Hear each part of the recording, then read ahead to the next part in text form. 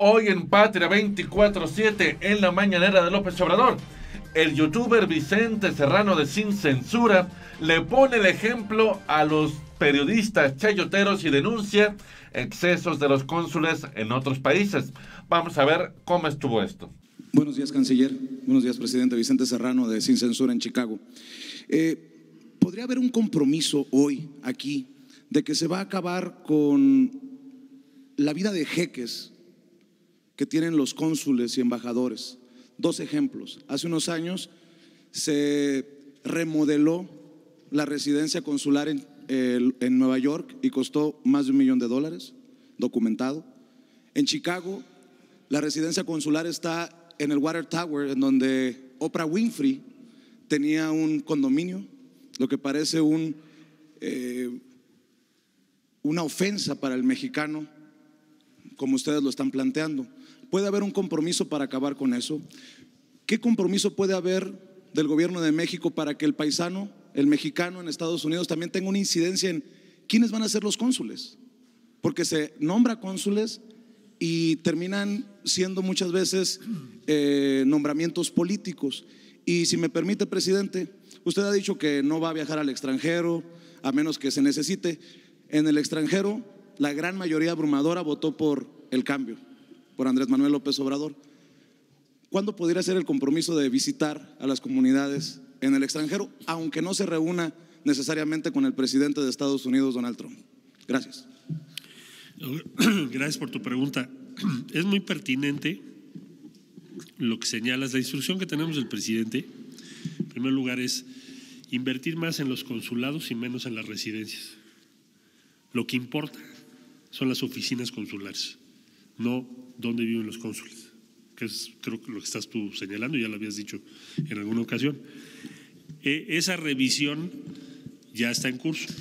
No la vamos a terminar, hay contratos de renta vigentes, en fin, pero vamos a ir haciendo un ajuste porque los recursos de los que acabo de hablar, pues de dónde van a salir, pues parte lo tenemos que reducir de gastos como ese. No se justifica que tengamos residencias en donde se invierte más que en el edificio consular.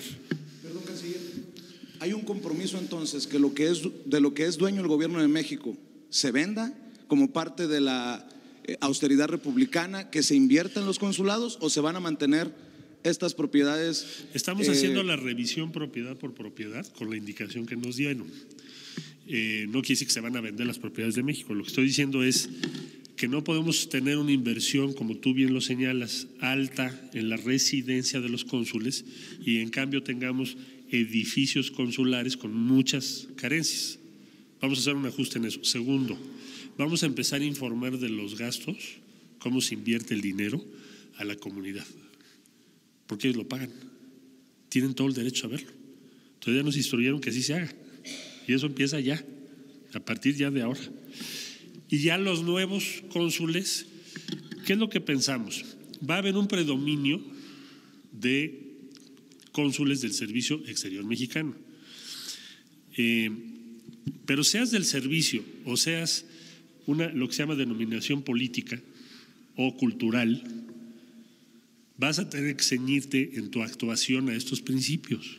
Lo importante es que la comunidad lo pueda evaluar, por eso también no lo mencioné pero me pidió el señor presidente que cada tres meses pongamos un informe de qué es lo que estamos haciendo, qué avance ahí, qué nos está pidiendo la comunidad. Es otro tipo de diálogo el que vamos a ensayar ahora. Es otra actitud. Y vamos a aprender también, porque no se hacía así antes, pero ahora sí se va a hacer así. Ese sería el compromiso. Eh, del presidente, perdón, ah. eh, del presidente, ¿para cuándo puede hacer el compromiso de visitar eh, las comunidades en Estados Unidos, presidente? Agotamos. Agotamos y yo te contesto. Es que estoy interrumpiendo su conferencia. Ya nos apuramos ahorita. Señorita. Buenos días, canciller. Buenos días, señor presidente. Rocío Méndez, Noticias MBS. En su estrategia, entiendo que es hacia migración, pero también hay un flujo de mexicanos que han debido huir de la violencia de varios puntos de la República Mexicana. ¿En dónde se encuentran ellos en este esquema? Gracias. Migración interna. bueno, eso se, no sé si recuerdas, pero si no, con mucho gusto. Migración hacia, hacia México. No, bueno, pues eso es parte de lo que vamos ahora a trabajar, porque por muy diversas razones, lo que se llama migración forzosa o forzada es por pobreza o por violencia. Y entonces ese universo es el que vamos a ir a, vamos a un encuentro con ellos y con ellas y a tratar de hacer las cosas juntos y a tener una visión común y a decirles los recursos que hay son estos, ¿qué hacemos con estos recursos? Vamos a hacer lo mejor posible, abandonar una idea defensiva. Incluso en seguridad, ¿se les podría garantizar ya un cordón, un resguardo? Bueno, vamos a ver caso por caso, pero seguramente habrá casos donde lo tengamos que hacer y lo tendremos que resolver de una forma u otra. Si les parece, dos y ya dejamos al presidente su conferencia. ¿Sí? Allá atrás, ¿sí estás haciendo? Eso. Gracias. Buenos días, presidente. Buenos días, canciller. Yo quería preguntarle acerca de, Isabela González de Reforma, perdón, quería preguntarle acerca de estos eh, nombramientos de cónsules que hacen falta y que ahorita están acéfalos en Estados Unidos. ¿Cuándo se van a hacer? ¿Hay un bloqueo? Y tengo otra pregunta, pero esa primera. Un bloqueo, no. Se van a entregar el día, o se van a presentar, mejor dicho, a consideración del Senado de la República a partir del día martes de la semana que entra. Y ya el Senado convocará y determinará. Cada vez tendremos mucho, no solo, no solo más presencia en la comunidad, sino también más evaluación de la comunidad de lo que estamos haciendo.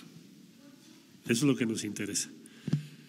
Y la segunda pregunta, hoy el Consejo de Seguridad de las Naciones Unidas eh, va a votar dos resoluciones, una para llamar elecciones en Venezuela y otra para apoyar a Maduro. ¿En qué sentido va a votar México? Bueno, México planteó en el Consejo de Seguridad, acaba de ser el fin de semana, eh, lo que es el punto de vista mexicano y el mecanismo de Montevideo, que se basa en la búsqueda de una solución pacífica y democrática, pero que le corresponde a los venezolanos y desde luego excluye el uso de la fuerza. Y esa posición ha recibido mucha simpatía de muy diversos países, no nada más en nuestra región. Esa va a ser la posición mexicana. Lo que sea compatible con esa posición, lo apoyaremos y lo que no, no. Entonces van a votar en contra de las dos resoluciones. Vamos a, vamos a ver en qué términos se presentan las resoluciones, pero la posición mexicana es esa y es la que vamos a defender. Última pregunta, allá de lado, por favor. Muchas gracias. Buenos días, canciller. Buenos días, señor presidente. Miguel Arzate, del Sistema Público de Radiodifusión, Canal 14. Preguntarle, canciller, hace unas semanas atrás se dio a conocer que un grupo de mexicanos estaba laborando en Canadá de manera casi en esclavitud. Este tipo de situaciones se ha venido dando en años anteriores porque ha habido grupos que ofrecen trabajo a los mexicanos aquí en México, ofreciéndoles un trabajo en Canadá, en Estados Unidos, y pasa este tipo de situaciones. ¿Qué va a hacer la Cancillería, qué va a hacer el gobierno mexicano para evitar que esto suceda o acompañar a los mexicanos que están trabajando y que trabajan en, de forma precaria, con carencias? Gracias. Uno, uno de los objetivos de ampliar los consulados móviles, en este caso también en Canadá, es ese porque si no es muy difícil que tengamos la información. Una parte importante de que tengamos más consulados móviles es saber las condiciones en las que están nuestros compatriotas ah, en, eh, localidades más relativamente más alejadas que lo que son las ciudades o las grandes ciudades. Entonces, ese es uno de los objetivos. El otro es la sanción, porque ahí hay delitos. Entonces, lo que vamos a hacer es emprender, emprender el proceso judicial, jurisdiccional contra los responsables por trata de personas y otros delitos en contra de ciudadanas y ciudadanos mexicanos. Es lo que vamos a hacer. La sanción y la detección y prevención oportuna.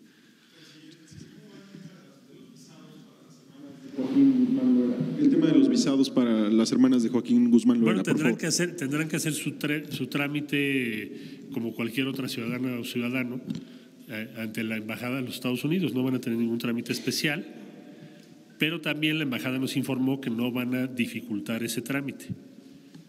Es decir, tienen derecho a hacerlo como cualquier otra persona. Muchas gracias y ahora sí damos paso a la conferencia señor presidente.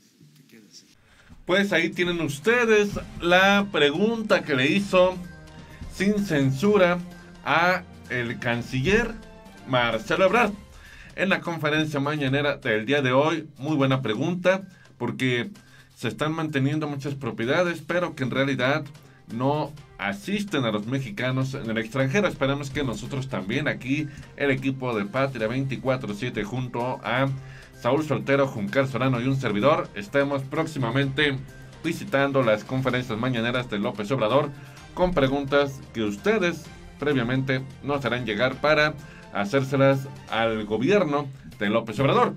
Mientras tanto, yo me despido, soy Fernando Carmona.